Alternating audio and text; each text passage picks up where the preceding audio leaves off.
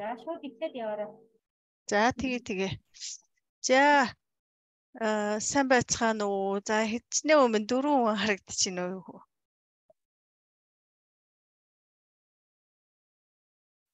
За би ямар ч байсан ингээд танилцуулга хийчи хүмүүс дөнгөж нөгөө цайны цаг болохоор юу яаж байгаа бах арай амжиж орж ирж амжааг байгаа хаа. Тэгээ ер нь бол бичлэг хийгдчихнэ гэсэн те.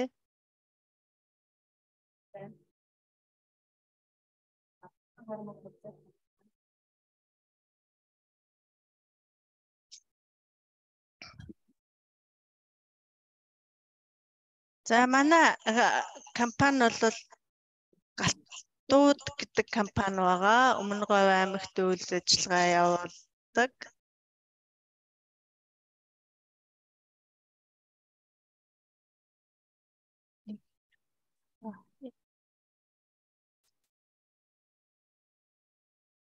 За тэгээ манай компани бол 2012 оноос хойш говийнхаа хармаг гэдэг жимсээр суйрлаад хатаа хармаг кластер хөгжлийн хөтөлбөрийг хэрэгжүүлж эхэлсэн. За энэ хугацаанд бид нэр бас баггүй ажлыг хийсэн. За гол зорилго маань одоо доктортой ногоо хөгжлийн төлөө орон нутагт нутгийн онцлог тохирсон орон нутагт байдаг генетик нөөц баялагийг арилжуулаад тэгээд одоо бүтээгдэхүүн үйлдвэрлэл үйлчилгээг бий болгоод эргээд экосистема тэтгээд өөрөөр хэлбэл бид нэр одоо хэрхэн яаж байгальтай ээлтэй үйлдвэрлэл явуулах вэ? Хэрхэн яаж хүмүүст одоо хор хохирлгүй үйлдвэрлэл явуулах вэ? Хэрхэн эргээд байгалаа нөхөн сэргээх вэ гэдэг дээр илүү их төвлөрч анхаарч ажилтдаг байгаа. Тэгээд бид нэр ерөнхийдөө энэ доктортой ногоо хөгжлийн эдийн засгийн загвар гаргаж ирсэн.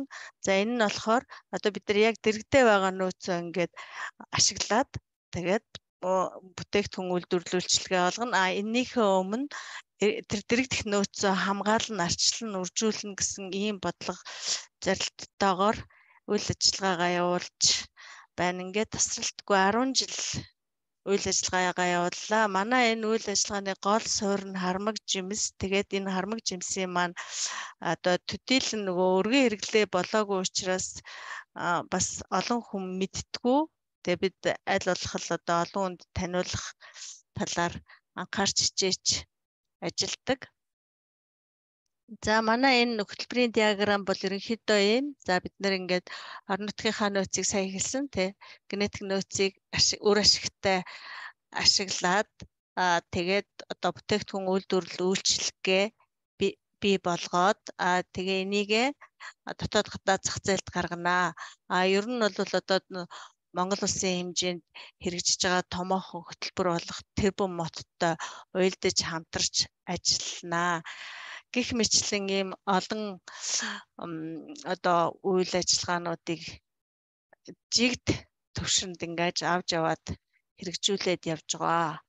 За тэгээд ерөнхийдөө бол одоо 2012 онд тармаг хамгаалах тухай шийдвэрт бид нөр хүрэхэд одоо ерөнхийдөө хүмүүс мэдтгүү. За харамгчин бол манай манай Монголд одоо 2 овгийн 6 зүйл харамг яг одоо найдвартай ургаж байна бидний судалгаагаар. Тэгээд энэ судалгааг одоо эхлээд бид нэр интернетээс хайж үтсэн. Тэгэхэд ердөө одоо Сибирь хармаг дээр гэхтэл 15хан илэрч гарч ирдэг гэсэн бол одоо өөр болсон. За бид нэр тариалтын туршилтын ажлыг хамгийн анх одоо нөгөө байгалийн ургамлыг ингээ ургадаг юм уу гоо юм уу гэсэн ийм эргэлзээтэйгэр гэсэн ч гэсэн нэг сэжмийг ингэ шилжүүлэн тариалж анхны тариалтаа турсан байгаа. Тэгээд тэр туршилтын үр дүн одоо ямар төвшөнд хүрсэн бэ гэхээр нөгөө бот маань өөрөө 16 оноос эхлээд жимслээд эхэлсэн. 15 оноос эхлээд тэгээд 18 19 оноос ингээд гоёолоод ингээд эхэлсэн. Одоо тэрнээс хойш ингээд тасралтгүй гоёо нь гарч байгаа гих мэтчлээ. Энэ нөгөө 100 гарын улаан гоёо ургадаг бот шүү дээ. Зарим хүмүүс маань мэдгүй байж магадгүй. За тэгээд бид нар ингээд сэжмээр ургаж байгаа юм чинь ингээ үрээр нь тариалж туршия гэд ингээ үрээр тариалт хийгээд туршилт хийгээд тэг амжилттай ургасан. За одоо бол бид нэр өрсөлгөө үржүүлээд эхлээд экосистем дээр төхөн тарилт хийж байна. Мөн бүр зориултын талбай гаргаад ингээд 5 га талбай дээр 100000 гаруй хармаг жил жилд ингээ 2 3000 2 3000 гар нэмж ингэж тарьсаар байгаад 100000 гаруй хармаг тариалцсан жимсээ аваад эхэлсэн ингээд ажиллаж байгаа. А ерөнхийдөө одоо харамгийг тариалах агар техник технологиг өөрсдөө боловсруулсан бидэнд одоо нөгөө туршлага олдож өгөөгүй ер нь бол тариалж исэн туршлага байхгүй байсан. Тэгээд ингээд 16 онд бол ерөөсөө ингээ ямар ч гэсэн ингээ үрээр урах юм байна л гэдгийг бол ойлгож авсан. Тэгэл дараа дараагийн ер нь маш олон туршилтын ажлууд хийсэн. Экосистем дээр шууд үрээр тарих туршилтыг хийсэн. Одоо тэрний зарим нэг үр дүн гарч ирээгүй байгаа. Зарим нь одоо 16 онд тарьсан э, бутнууд болохоор одоо дөнгөж нөгөө өрсөлгөө болгож нөгөө тариалж байгаа шүү дээ бид нар нөгөө бортгон дотор тэр тариалтын хэмжээтэй чицүү дөнгөж 15 см 20 см за хамгийн өндөртөө нь 30 см төрсэн байх жишээний ийм үр дүнгуудтай ажиллаж байгаа. Тэгээ 2020 оноос эхлээд Монгол орныг харамгжуулъя гэдэг ийм зорилго тавиад ажилласан. Тэгээ Монгол орныг харамгжуулах энэ ажлынхаа өрөөнд одоо бид нэр 21 аймагта ядаж өрхий хашаанд тариалах хэмжээгээр хамгийн цөөх нь одоо Ховд аймагт хоёр ширхэг өрсөлгөө очсон байгаа. За бусад газар бол ер нь олон ширхэгээр очиод ингээд тариалагдчихж байгаа. За тэгээ энэ ажлаараа бид нар юу хэлэх гээд байгаа юм бэ гэхээр одоо дэлхийн нэг 20 гаруй говьтэй гэдэг юм бэлээ. Тэгэхээр яхаа одоо ингээм манайх шиг ингээд Хятад Монгол хоёр хэллэглэлээр нөгөө Ашаагийн говь нэг бүтэн говь нь хоёр улсад ингээ хуваарлагдчихж байгаа гэж ингээ тооцоолж үзэх юм бол ямар ч нэг дэлхийн нэг 40-од оронд энэ хармаг жимс ургаж авах магадлалтай юм аа. Гэтэл цаана нь одоо 160 оронд байхгүй байна. Тэгэхээр яалтчгүй одоо Монгол улсын онцлог гэж хэлж болмоор санагдаад бид нар санал тавиад байгаа байхгүй юу? Бид нар энэ байгаа боломжоо илүү сайн аривжуулад ингээд ажиллая. Ийм байдалтайгаар ажиллах нь одоо илүү үр дүнтэй байх нэ гэд тэгээд тариалтанд дуриалаад байгаа юм ерөнхийдөө сэлэнгэд илүү сайн ургах боломжтой байна гэж хараад байгаа. Сэлэнгэ аймагт одоо ургац их сайн авдаг. А угаасаа тариаланч хүмүүстэй аргыг нь болоод илүү сайн тарих боломжтой. Говьд болохоор уус ховор тэгэл нөгөө ховортой таарсан ургалтыг бол бид нар говьдоо яалтчгүй л удаан байна хичнээн хүний гар хурж байгаа ч гэсэн удаан байна гэж ингэж үзээд байгаа байхгүй юу. Тэгээд энэ тал дээр хамтарч ажиллах яа өшөө одоо өөрсдөө аж ахуй болгож харамгийн аж ахуйнуудыг үүсгэж ингэж ажилласай гэж хүсэж байгаа. Энэ их боломжтой. За тэгээд нэг жишээ дуртахад одоо нөгөө мөн л нөгөө хиттад дургадаг учраас одоо ингээд та нар интернетээр энэ хоёр зүйлийн нэрээр нь хайгаад үзээрэй хятадын уугуул ургамал гээл ингээд сурталчлаад байгаа. Тэгэхээр бид нар тэндээс бас нэг зүйлийг ойлгох, бодох хэрэгтэй байгаа юм шиг ингээд санагдаад байдаг юм аа. За манайх тэгээ нөгөө нэг харамгийн талаарх ингээд яа ингээд э, судлаач төвлөрөөд ороод ингээд ажилдсан. За ингээд танилцуулсан юу бол маш цөөхөн. За нэг 18 18 онд манайх анхны судалгаа биотехнологичдоор хэлгсэн байгаа. Тэрний дараа бас нэг манайхны за нэр нь орж ирэхгүй ш. За тэгээд манад бас нэг э, чанаа хармаг дээр төвлөрсөн нэг судалгаа гарсан байгаа. За бид нар ерөөсөө гол одоо шинжлэх ухааны судалгаанууд олон улсын судалгаанууд дээр ингээ суурлаад хийгээд за чанаа хармаг бол яалтчгүй энэ хорт авдрын сэтгвчлийг бууруулдаг гэдгийг бол одоо энэ олон судлаачийн дүгнэлтээс бол тодорхойлж хүлээн зөвшөөрсөн байгаа. За хонин армаг дээр Оросууд нэлээ их судалгаа хийж байгаа ер нь хорт одрыг бол ангаан за тэгтээ эн чинь мэдээж эм биш юм чинь бид нар цаашдаа эдгээр зүйлүүдээс санаа аваад тэгээд одоо илүү сайн судлаад судлаад ингээд явах юм бол бид нэр одоо биологийн олон янз байдал төрөл зүйлийг хамгаалах нь дэлхийн дуу хоолойтой нэгдэж чадах байна. За өөрийнхөө онцлогийг ингээд олон нийтэд дэлхийн түвшинд монголчуудаа ингээд хүргэх боломж байна. Эрүүл байх, эрүүлжих бас боломж байна. Эргээд олсон орлогоороо байгаль их дэлхийг хайрлах, хамгаалах, нөхөн төлжүүлэх, сэргээх ингээд бүх зүйлийг хийж болохоор байна. Та энийг бол бүгдээрээ хамтдаа хийж болохоор нь ерөнхийдөө бас би их олон хүмүүст хэлдэг л дээ. Хармаг дээр бол монголчууд хоорондоо өрсөлдөх шаардлагагүй илүү их тийм хамтарч ажиллах хэрэгтэй. Хармаг дээр бол ерөөсөө өнөөдрийн байдлаар гэхдээ ерөөсөө өрсөлдөх жоохгүй. Ер нь цаашдаа ч ихсэн их зөв бодлоготойгоор кластраа их тийм зөв тэлж чадах юм бол одоо төрөлжөөд гэсэн үг шүү дээ. Тэгээд ингээ өөртөө энэ зохион байгуулалтанда их зөв орж чадах юм бол хоорондоо өрсөлдөөл янз бүрийн асуудал үүсгээд байх ерөөсөө шаардлага байхгүй. Яаж хамтаараа ингэж чаддаг чаддгаа хийж те чаддаг чаддгаа бөөгнөрүүлж одоо олон улсын төвшөнд ялгарч гарах вэ гэдэг бол бидний бүр хамтын зорилго байвал их зүгээр байгаамаа. Тэгээд та нар минь бас бодоорой. За тэгээд энэ бидний хамгийн анхны дээр сэжмэр тариалсан гэдэг харамг жимс жимсг нь маань байна. За Сибирь хармаг Нитрариагийн бүлгийн энэ хармаг бол манай аймагт дөрвөн зүйл ургаж байна. Дөрвөн зүйл ургаж байна. Яг ингээ бодиттой ургаж байна. За тэмдэглэгдснээр бол таван зүйл гэдэм байлээ. За тэгээ бидний одоо голчлон яг мэдж байгаа нь бол нөө хоноо армаг, ямаа армаг гэд ингээ нэртэй. Энэ бол одоо хоноо армагны зураг байна. За маш гоё ийм чихэрлэг. За тэгээд энэ жимс маань ийм одоо бол яг ингээд энэ зурган дээр дөнгөж одоо боловсрах гээд арай бүрэн боловсроогүй. Боловсрохоороо тийм үзмүү өрөнгөтэй болдог. Ийм жимсг нь байгаа. За ямаа армаг нь энэс арай өөр. Хоноо армаг эсгэлэн чихэрлэг болвол ямаа армаг дотроо хоёр янзгаа тэр хоёр янз нь амтны хувьд л ерөнхийдөө ижлэх аргууд одоо тий илүү нөгөө ходоо дотор тэр хотоо дотор тэг хоол боловсруулах хэрэгтэн системийн үйл ажиллагааг илүү сайн болгодог гэдэгдэг. За тэгээ уламжлалаар манай дээр ер нь бол аль аль харамгаар нь вино хийж уудаг байсан. Тэгээ манай одоо хэдэн үед хэдэн 100 мянган жил л одоо байсан бах манай нүүдэлчин говийн нүүдэлчдэд. За тэгээд өөрөөр бол ерөөсөө яаж хэрэгэлдэг талаарх ерөөсөө ямар ч тийм юу байхгүй а харин энэ нөгөө навчаар их үсээ угаадаг үс уналтын эсрэг урт үсийг их урт ургуулдаг энэ төр гэдэг тийм л а малчид бол энэ хатсан навчийг нь нөгөө хавар сулцсан төл малдаа өгж ингэж тэнкрүүлдэг ийм уламжлалт хэрэглээ байдаг юм байлээ.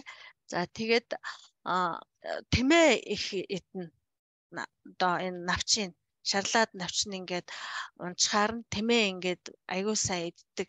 Тэгэл бид нар э, нөгөө ингээд судалгаагаар явж байгаа л ярьдаг байхгүй. За энэ тэмээ ингээд намрын энэ хармагны навчийг бүр ингээд бүр гойд шимтэж иддэг юм байна. Тэгэхээр магадгүй нөгөө буурын бохич нь тэ одоо нөгөө хорт авдрын ангаагаад байгаа одоо ялангуяа эмэгтэйчүүд маш сайн штэ баг зэргийн гстак бол одоо яачдаг шимэгдүүлчдэг энэ төр гээд. Бас манай тийм уламжлалт хэрэглээ байгаа. Тэгтэн зэрэг тэгвэл тэр энэ одоо мундаг чадвартай болоод байгаа энэ асуудал чинь энэ шар навчинд илүү байгаа юм биш үзээ гэх мэтлээ ингээ ер нь бол одоо судалгааны маш өргөн объект байгаа. За тэгээд энэ бол чанаа хармаг байна. За говьалтай баян онгороор байгаль дээр их ургадаг. За энэ хоёр хармаг аль аль нь байгаль дээр ингээ хүн харахад маш их байгаа боловч ховордсон. Одоо манай судалгаагаар жишээлбэл одоо ингээ зүгээр ингээд энгийнээр бид нарыг ингээ хүүхэд байхад бид нар гараад 30 минутын дотор 5 бата 10 бата ингээд дүүргээд түүчдэг байсан харамг жимсээ.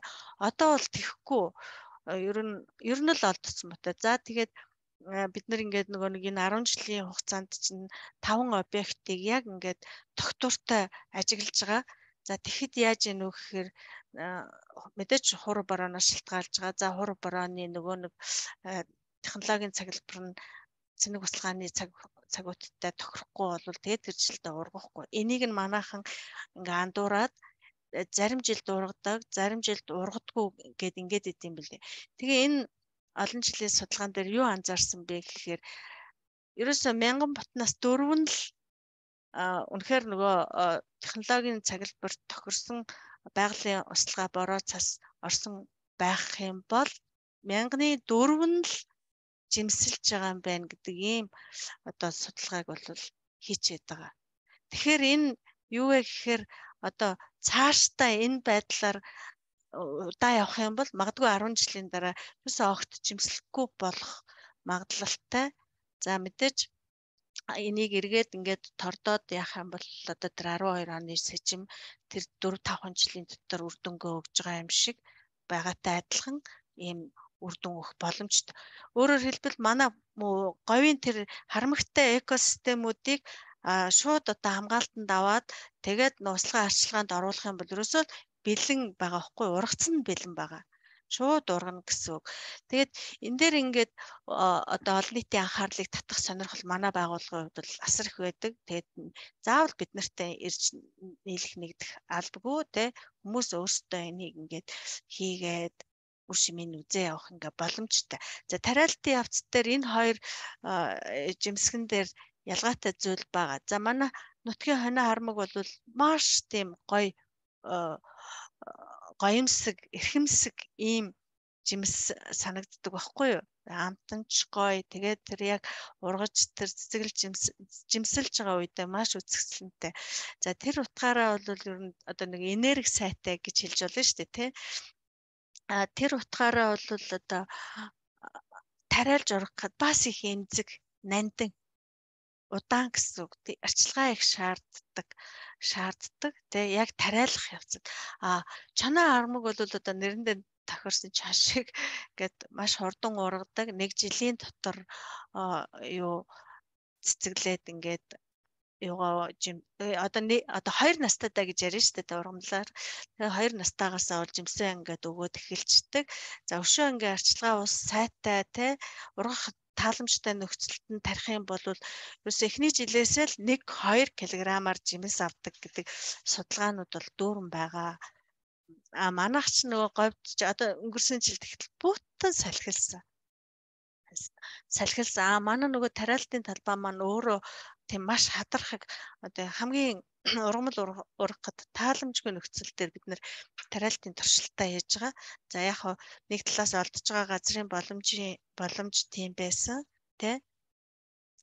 За нөгөө талаас бол одоо бас анхнаасаа нөгөө нэг 2014 онд энэ газрыг авсан байхгүй жимсгэн тариалах туршлага муу байсан тийм болохоор газрын сонголтын дээрээ бас одоо муу хандсан байна гэж ингэж өөртөө дүгнэд. Гэхдээ давуу тал нь ийм хатуу нөхцөл дээр ургаж байгаа юм чинь те илүү тааламжтай орчин нөхцөлд нь бол илүү сайн ургах юм байна гэдгийг бас нотолж чадж байгаа ийм давуу тал байгаа. За тэгээд миний ярих зүйлс бол товчхондоо хасар нөгөөх нь хаа байна ийм байна цаг маань дуусч байгаа юу Хэрвээ яараагүй бол би нэг товч удаа хийсэн ажлыг тайлан асраа.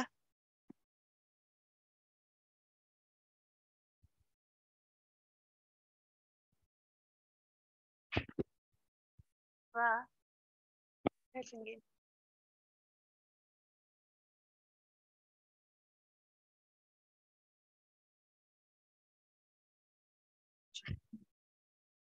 болцсон. Нөгөөх нь Тэ. Биш биш биш. Нөгөө энэ дотор шүү дээ. Энэ энэ аа одоо аа за одоо болцсон уу?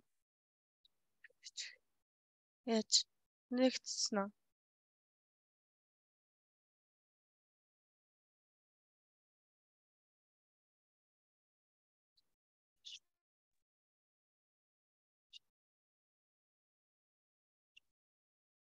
нөлөө гарч байгаа шүү дээ.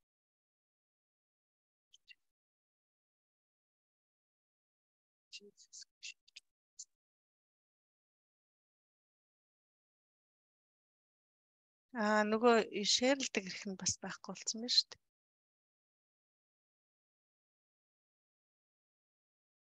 Нөлөөл орчмоо. Наадхад идчихмээ.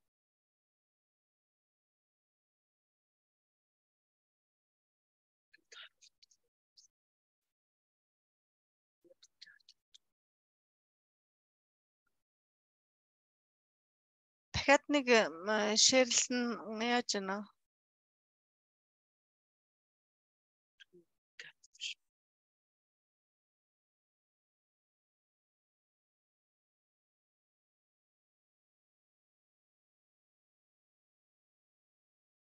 дахиад нэг файл шеэрлэх гэсэн чинь болохгүй байна. Сонсогдож байна уу?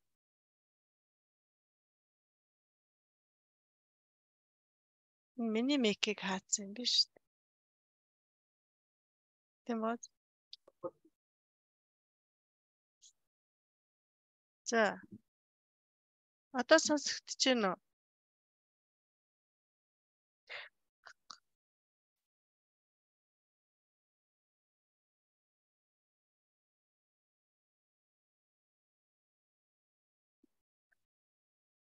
Нэг татах.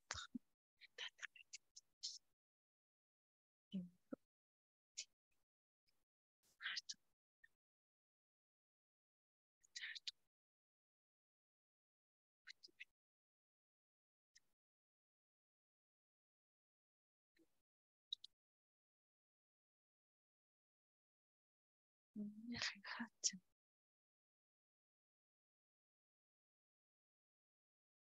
Ахгүй. Тунтак.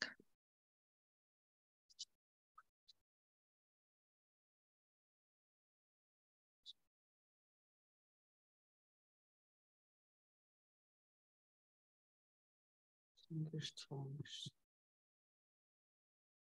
Сонсогдох. Тэгээд сатсан байгаа юу? Мм.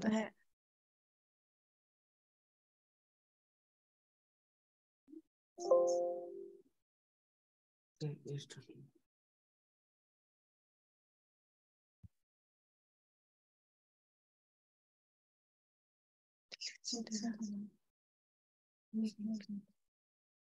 Өмчлөг тэрхгүйс компанцаа өөрөөл юм. Мм.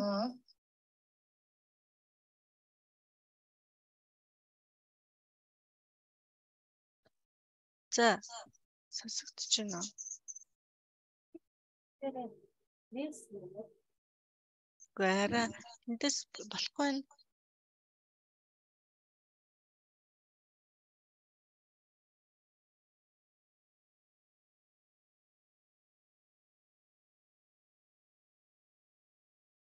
За, энэ үү? Энэ солигдохгүй шүү дээ.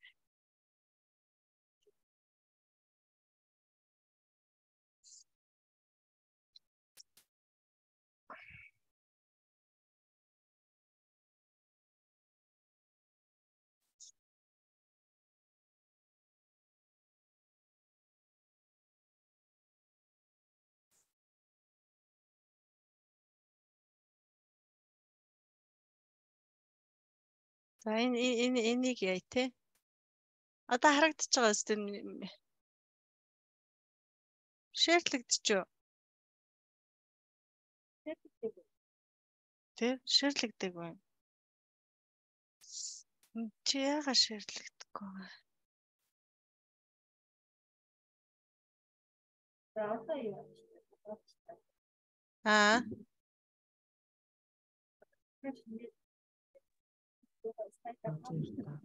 Üm үндч юм гэж нэг. Тэр хэрхэн бол байгаа те. харин тэгээ яагаад шеэрлж болохгүй? Энд шүү.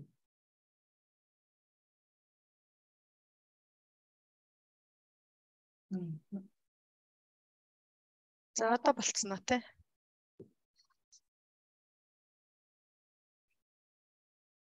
За манайх энэ нөгөө товч тайлангаа ингээд танаа тургуулсан байгаа. Хэрвээ сонирхвол өндөр хот захирлаас аваарай. Энэ байна. Нөгөө сүрхий ширээ яач талдаач.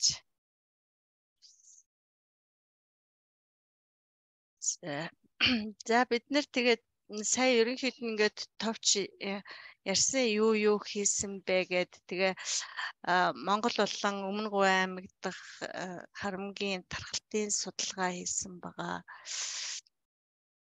За агар технологи боловсруулсан Чанаа харамгийг Өмнө Говь аймагта одоо анх удаа таримлаар нутгшуулсан. Нутгшуулаад одоо нөгөө жимс жимсээ аваад эхэлсэн ингээ явж байгаа. За шинэ хичээлийн судалгаанууд хийсэн байгаа. Бүтээгдэхүүний нөгөө технологи загвар боловсруулсан загварууд ерөнхийдөө одоо энэ хоноо армаг чанаа армаг хоёр дээр голлож суурлаж 60 гаруй төрлийн бүтээгдэхүүний загвар гаргацсан байгаа. Тэгээд энэ тэрийг болохоор яадгүй гэхээр нэг залуу бизнесүүд эдэг шүү дээ. Шинээр бизнес хийх гэж байгаа хүмүүст ингээд санал олгоод тий тэгээд одоо бас эхнээсээ бас 3 4 ч газар ингээ хийгээд эхэлчихсэн явж байгаа. Одоо жишээлбэл ингэний сүү харамгийн навчтай савн гээд тэгээд нөгөө харамгны унтаа тэгээд нөгөө цайнууд түр гой алтаа дээр одоо өнгөрсөн зам бол ундааж усны хоёр бүтээгдэхүүн хүлээл гэж өгсөн байгаа гих мэтлэн ийм ажлуудыг зохион байгуулж байгаа. За тэгээд одоо төгссөн үү?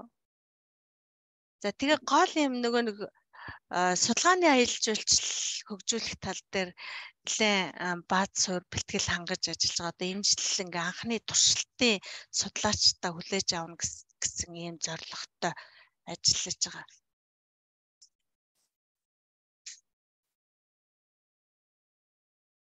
За ярих уу болцсон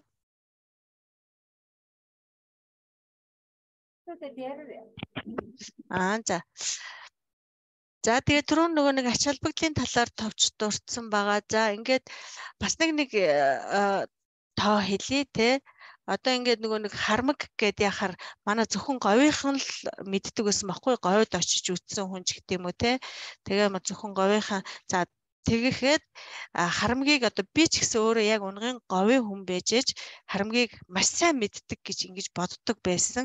Үнэндээ бол ер нь мэддгүй байсан юм байлээ. Тэгээ анх одоо ингээд харамг гэ ярахаар 10 хүний нэг нь л мэддэг байсан. Мэдчихсэн харамгийг тэ одоо бол одоо Монгол дотроо ярьж байгаа шүү 10 хүний 7 нь мэддэг болсон бид нэр ийм амжилттай байгаа. За тэгээд ингээд бүх салбарт одоо хөгжих боломжтой бүхэл бүтэн эдийн засаг байгаамаа. Энэ дээр нөгөө бүхэл юм хөгжин одоо тий тариалалт, тэгэл үйлдвэрлэл, тавир логистик туслах нөгөө сав баглаа бодол үйлдвэрлэл үйлчлэгээ шинжлэх ухаан, утга зохиол, уран зохиол, дуу хуур тий санхүү хөрөнгө оруулалт бүх салбарт хөгжих бүрэн боломжтой ийм юу байгаа үндсэн түүхэд байгаа гэж хэлж болно. За манайхан нэг өрсөлгээнүүдийн байна түрүү нэг өрсөлгээнүүдийн зураг. Энэ бол одоо хоноо армгийн өрсөлгээ байна. За хоноо армаг чанаа армгийг илүү төлхөө тариалдаг.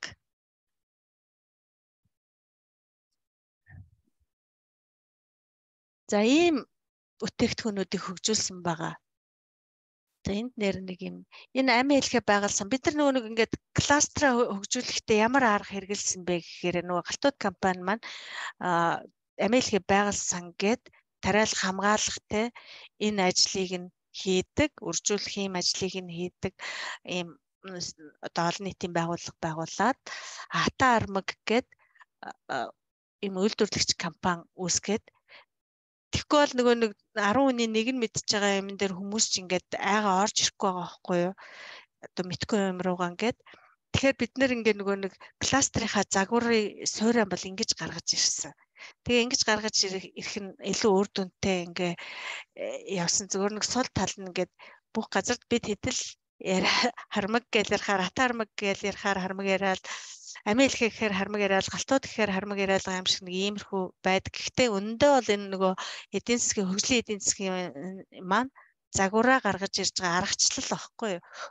одоо Монгол улсынхаа хуульд тогтоомжид тохируулаад нэгэнт одоо ингээд санаачилсан төслөө одоо ажиллуулахын тулд хин нэг орж ирэхгүй байна гэдэг ахихаа оронд бид нар бол ингэж ийм аргачлалаар явуулсан байгаа. За тэгээ энэ дээр бол энэ бүтээгдэхүүнүүдийн зургуудыг ингээ харж болно. За хатаа армаг бол ерөнхийдөө зөвхөн цайн дээр л илүү тийм төвлөрөх хитийн төлөвтэй байгаа. Тэгж ажиллана. Цай цай а бусад одоо бүтээгдэхүүнүүд бол ингээ үйлдвэрлэлүүд нь хөгжөөсөө өсөөсөө хүмүүс ингээ санаа аваасаа бидэнд байгаа бэлэн технологиг бас ашиглаад цаг хугацаагаа э, одоо хэмнэж бас болно шүү дээ тийм ээ. За анх нөгөө нэг ингээд айгүй хэмзэглүүлсэн зүйлүүдийн маань нэг энэ бид нар бол хамгийн анх нөгөө говийг яаж ойжуулах вэ гэ 2005 онд ингээд нөгөө улаас сайлаас улаас голдуу тарсан баггүй. Тэгэл тэр улаас нь нөгөө бид хоёрыг эзэхгүй ингээл яваал сар болоод ирэх юм бол ард туслах хүн байхгүй. Тэгээд өхүүлцэн байждаг байхгүй. Тэгэхээр бид нэр юу гэж ойлгосон бэ гэхээр за энэ бол одоо ойжуулт хийхэд ерөөсөө унган ургамлын тарихгүй бол бүртгүү мэн нэгдүгээрт хоёрдугаарт ерөөсөө өөрөө өөрийгөө санхүүжүүлэх боломжтой жимсний мод тарихгүй бол болохгүй мэн гэд. Тэгээ нэг 20 гаруй цэцэрхний мод 2008 онд ингээд тариад 12 он гэхэд бид нар ингээд жимс төөж иддэг болохгүй юу. Тэгсэн чинь 8 сард боловсрчиж байгаа манай тэнд чинь нөгөө их халуун учраас тэгээд яг түүх гэсэн чинь ингээл гар өрөнгөтл пис гэдэг ингээ хагарчаа болдгоо. Тэгээд за цэцэрэг нь бол хотлоо юм байна гэдгийг ойлгоод тэгээ ерөнхийдөө за энэ өөрсдийнхөө энэ говийн хармаг жимсийг одоо хамгаалах нь зүйтэй юм байна гэд. Тэгэд энэ энэ одоо огт ингээд навчлаагүй юм дээр ингээд жимсэлсэн байсан яг миний өөрөө авсан зураг баггүй энэ зураг. Тэгээд энэ хоёр талаас энэ бодит нөхцөл байдал юм байна. Энд бол хайр хэрэгтэй болсон юм байна. А бид нар бол одоо говьо ойжуулъя гэж бодож байгаа бол зөв явах хэрэгтэй юм байна гэд. Ингээ хармаг руу одоо 12 оноос хойш нефт орсон гол шилтгааны нөгөө маа. За тэгээд хамтын ажиллагааны хувьд бид нар эко түншлэлийг бий болгож байгаа. За эко түншлэлийн хүрээнд бол бид нар юу хийж байгаа вэ гэхээр за жарлангоо өөрчлөлт төсөлтөө эко түншлэл хийсэн. За одоогор бол ингээд айхтар тийм том ажил бол хийгээгүй. Гэхдээ ямар ч гэсэн ихний алхам хийгдсэн. За 5 толгой төмөр замтай бол нэлээд том ажил эхлүүлсэн явж байгаа. Юу вэ гэхээр нөгөө төмөр зам руу ч нөгөө манай говийн элс шуураад очиод идэг юм байна. Тэгээд шуураад очихоор нөгөө төмөр замыг гээд одоо механик хэвдэрлүүдийг их хурдан үүсгээд идэм байна л та электр харагдал бий болгоод тэгэхээр тэр элсний нүүдлийг зогсоодог гол ургамлуудын чинь нэг бол яалтчгүй энэ хармаг хармагийн бутга сандуул гэж бид нар нэрлэдэг. Тэгээ энэ нөгөө өргөслөг гişэндээ элс сураагаад доп болж ургадаг. Тэр утгаараа элсний нүүдлийг маш их бууруулдаг. За мэдээж 100% юм гэж байхгүй. Гэхдээ одоо тэр төмөр замыг бол элснээс хамгаалах боломжтой. Энэ талынх нь судалгааг бол тэр төмөр замын удирдлагууд хийсэн юм блэ. Яасан бэ гэхээр яг нөгөө нэг төмөр зам үргэлжилж байгаа газруудын салхиндээ талд нь голдуу одоо энэ сандуулын бот үргэлжилсэн газар бол ерөөсөө элс шуурч төмөр зам руу очиагүй байх гэж байгаа байхгүй юу. Тэгээд одоо бид нар 10 биш 21 22 онд уртаашаа одоо 4000 харамг тарьсан байгаа. Энэ жил бүр 100000-ыг нэмж тарина гэсэн юм зорилготой ингээ ажиллаж байгаа. За ингэж за тэгээ бид нар бас нөгөө олон улсын байгууллагуудтай хамтарч ажилладаг болсон. За олон улсын байгууллага дотор одоо бид нэр 22 онд нөгөө дайны дэлхийн байгаль орчны сантай хамтарч ажиллаад За энэ хамтарч ажиллах хүрээнд 200 мянган өрсөлдөө тариалсан байгаа. За эргээд бид нар бол дайны дэлхийн байгаль орчны санда 50 мянган өрсөлдөгийг бол хандуулсан. Тэгээд эдгээр маань 5 сард хүлээж авна гэсэн байгаа. За ингээ харилцсан биенийгээ дэмнэж ажиллаж байгаа гэсэн үг тийм ээ. А бас нөгөө нүүбийн иншуур төсөлтэй хамтарч ажилласан. За энэ хүрээндээ Говьалтай аймгийн хоёр нөхөрлөлийг ийм одоо одоо нөгөө байгалийн нөөцийн менежментэд тулгуурласан бизнестэй болгох тэ цай үйлдвэрлэх ундаа үйлдвэрлэх юм хоёр бүтээгдэхүүн хүлээл гэж өгөөд газар дээр нь сургалтаа хийгээд те ийм зөвлөх үйлчилгээ бид нар бас үзүүлсэн байгаа. За энэ жил одоо манай дээр Баян хонгор аймгаас Архангай аймгаас зөвлөх үйлчилгээ авах одоо хүсэлтэд ирүүлсэн байгаа тариалангийн аж ахуй эрхэлдэг гэсэн ийм хоёр газар. За тэгээ бидний хамгийн их тийм happy хийдэг ажил маань энэ нөгөө байгаль дээрх нөхөн сэргээлтийг Гэхдээ бид нар ингээ үр үр хийгээ явдаг гэсэн багхгүй. Тэгээд за тэр маань бол үр дүн гарна.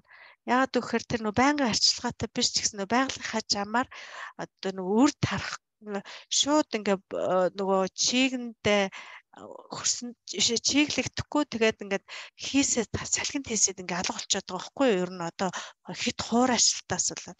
Тэгээ бид нар нөгөө нэг чихтэй голын доороосоо ингээд нөгөө нөгөө хөрсөж хийж шигшүүлж яадаг ийм газрууд дээр нөхөн тарилтууд хийж хийж байгаа.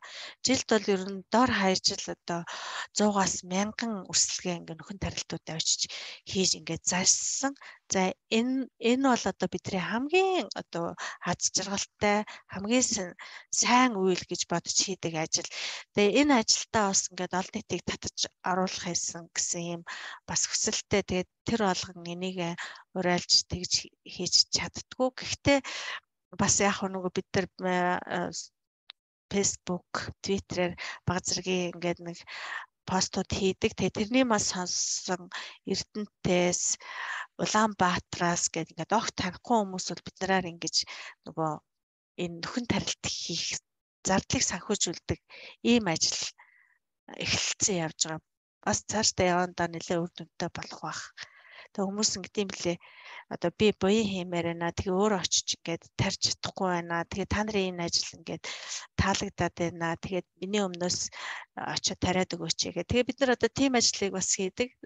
Гэхдээ заавалчгүй нөгөө нэг тийм а хүсэл тэрээгүй байсан ч гэсэн бид нар өөрсдийнхөө сайн дураар нөгөө хөдөөдөртэй тэргүй ингээл явж байгаа юм чинь явх болгондоо эхлээл үр авч явдаг гэсэн бол одоо ингээд үрсэлгээ аваачаад ингээд тарьдаг болцсон. Тэгээд эндээ ингээ хүүхдүүд маань их дуртай оролцдог. Энэ айгүй тийм аз жаргалтай байгаас манай хүү. Айгүй марзагнаал ингээл энэ тэнд очиод тариал тэгэл одоо хөгчөөр айгүй хөөхөн хүмүүжж байгаа байхгүй юу? Байгаль дээр хог хаяхгүй сурж яа нэг нэгэ тарчингуудаа аваач шуудаан тийч тэгээд дараа жил хизээ явах вэ гэд асууж гэх мэтлэн маш тийм өргөн үрээний ойлголт хэрэгтэй болдог юм байлээ. За манай ажил ерөнхийдөө ийм байна. Тэгээд бичлэг болно гэсэн болохоор цагаа гаргах нэгэн тал одоо цаг зарцуулж байгаа юм чи тэлэн дэлгэрэнгүй ярихыг хичээлээ. Тэгээд танаа тариаланчтай холбооных нь бүгдээрэнд нь ажлын өндөр амжилт хүсье. Одоо он онд илүү илүү ариун ариун ургац авчихыг ерөөё баярлалаа. Таны танаа таваагийн танаа хамтаасан байсан ийм сайхан буянтай хийж ажлын өндөр амжилт тий одоо энэ бүгдээ ч гэсэн хөдөө аваачаад амраалагтай ажиллан ажил хийгээд сургалттай ажиллан бас бүр илэрхийлж бас бүгд байна. Аа бод тарих бүгд бүгдийг зөвхөн бүх сургалтын хийж болох юм шиг санагдаа. А дээрэс нь хангаар нутаг руу бас ийх байгаа навшуулал их сайхан юм да. Байна. Байна байна сонсч байна. Хангаар руу рүү татамтоо газартай мөртөө юу тариахаа нэггүй байгаа олон одоо газарчд байдаг. Тэгээд бид нарт бойс шаа болоо манай одоо сайтын байр байр дээрэс нь хадгалах процесс юм групптэй олон бичсэн факт файлыг бодож байна. Хатаа баярлалаа. За их баярлалаа. Монголынхаа тариаланчдад танилцах боломж олгосон танай тариаланчтай холбооны удирдлага энэ уулзалтыг зохион байгуулж байгаа өөрт чинь их баярлалаа. баярлалаа.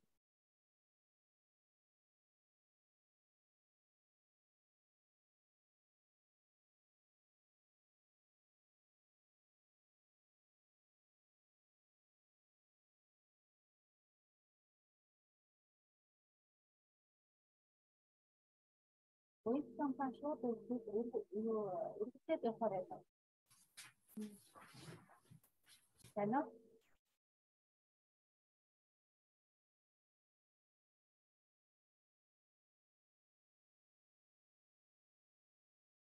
За, орж ирсэн хүмүүстэй баярлалаа. Бүгдийн хүмүүс сайтай. Сүйдээ тав гэж бодож байна. А тэгэнгүүт бас сайтнаас ихтэй ороод үзчих боломжтой байна. За, баярлалаа. 3 цаг буян цагтаа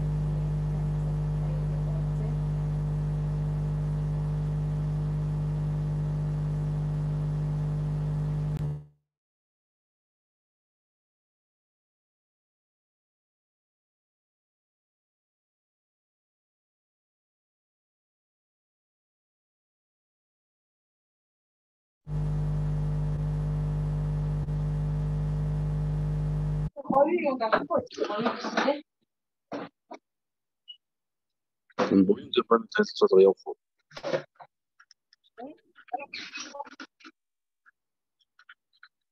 Яриач сайн сонсохдохгүй шүү хөө. Сайн сонсохгүй юм уу? Сайн сонсохдохгүй дүгтаг гэдэг. За, буян цогцоо явахгүй 3 цаг жоохон хаагаа. Гад. Ямар вэ? Юу гэх 3 цагтаа бол. Арай олон шүү дээ. 10 минут цогцоо.